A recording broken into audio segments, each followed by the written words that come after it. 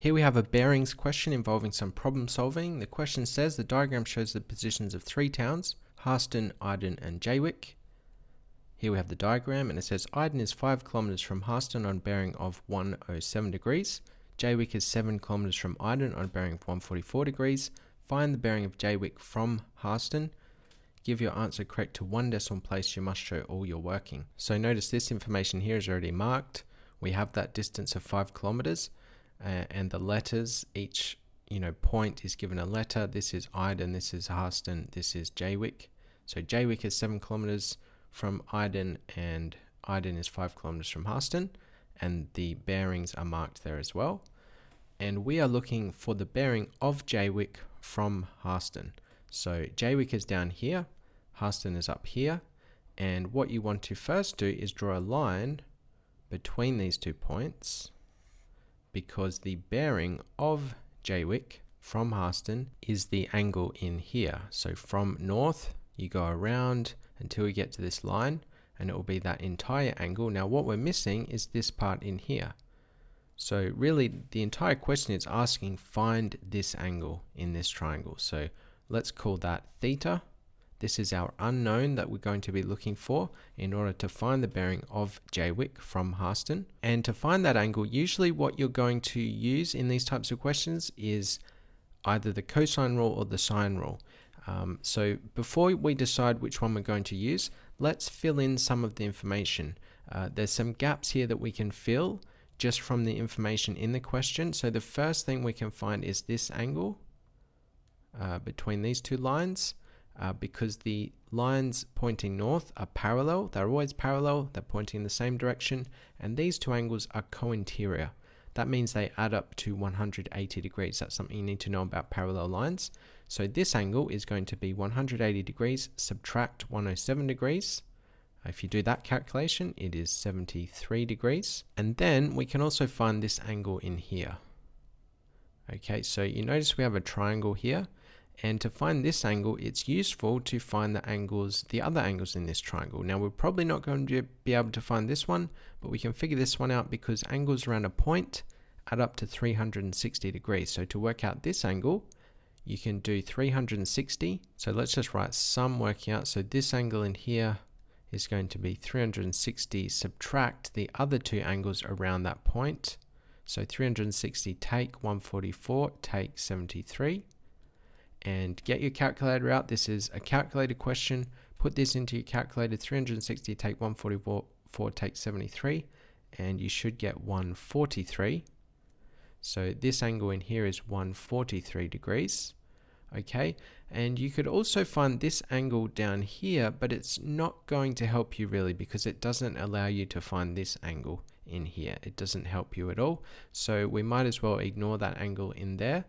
And now you need to think, now is the time to think, is this the cosine rule or the sine rule, or how can I figure out this missing angle?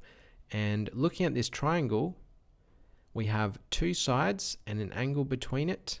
That indicates you need the cosine rule. Uh, the cosine rule will allow you to calculate this side, the length of this side, and then you can go from there. So let's firstly write down the cosine rule. That says a squared equals b squared plus c squared. Take 2bc cosine a, where a represents the side opposite the angle that you're using, and b and c are the adjacent sides to that angle. So then a in this case will be hj, this length. So let's write down hj squared equals b squared B and C can be either of these lengths. It doesn't matter which way you put them around. So let's just say B is 5 squared, so that length, 5 kilometers, plus C squared, that's this length, 7 kilometers.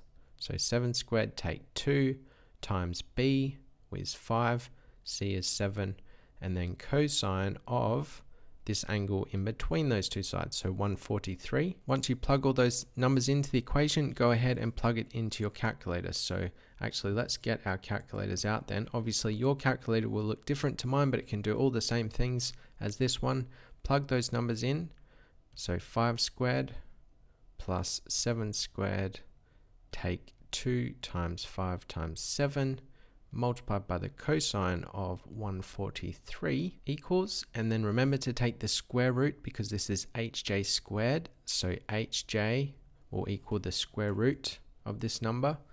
Um, now you could do that all in one step. I prefer to plug that in first, then take the square root of the answer. I just find it easier to enter in the calculator. So take the square root of that answer and I get 11.397564.9. So I'd write down that whole number uh, and also keep it on your calculator because you can use it again in the next calculation. But write down all of the decimals. So 3975649. All right, so we have this length of hj now, 11.397 and so on. And now reevaluate the problem. Remember what you're looking for. You're looking for this angle in here. How can we find that angle now? Well, we can use the sine rule because now we have all of the sides of the triangle and one angle in that triangle. That indicates you can use the sine rule. Uh, so we can say the sine of that angle, sine of theta, over its opposite side of 7 equals the sine of 143 over its opposite side, which is the answer we just got. So 11.397 and so on. Um, okay, so then we can say sine of theta equals 7 times this. Uh, so all of that. Okay, so let's just write it in. I'm just sick of writing all the numbers down, but okay, I'm being a bit lazy. And then we can say the angle is the inverse sine of all of this. Okay. All right, so let's and enter that into the calculator now. So the inverse sine of 7. Now be careful with your brackets. I would put brackets around all of this in those, uh, sorry, all of this and then that in brackets as well. Or use your fraction button on your calculator. That will also make it easier. So bracket uh, sine of 143 divided by our previous answer. So use the answer key on your calculator rather than entering all that, make it a bit quicker. And then I need another set of brackets there, and that should give me my answer. So I get an answer here of 21.6918. So theta equals 21.6918. And now that's not our final answer, remember, because we're looking for the bearing of Jaston from Harston that is that entire angle. So we need to remember to add that on to 107. So our bearing of Jaywick from Harston will be 1, 107 plus this answer, 21.6918. And uh, add that on. I get 128.69 and we needed that to one decimal place. We need to round that 6 up because the next number is more than 5. So that's going to round up to 7. So my final answer here is 128, 128.7 degrees. And we don't need to put a 0 at the front. If it was two digits, remember to put a 0. But because it's three digits in that bearing, we can leave that as is.